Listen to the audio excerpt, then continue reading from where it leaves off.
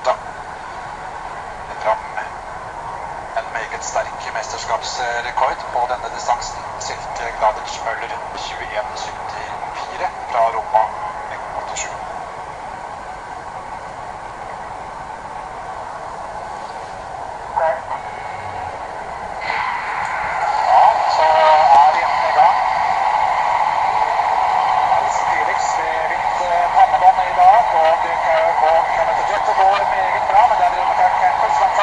bakside.